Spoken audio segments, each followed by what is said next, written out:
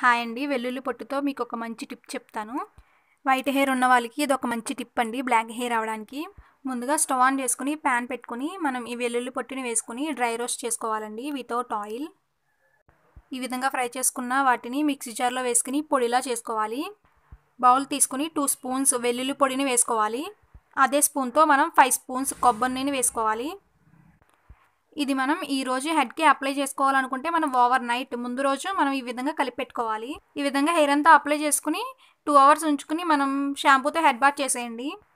ఈ టిప్ జెంట్స్కి లేడీస్కి కూడా యూజ్ అవుతుంది.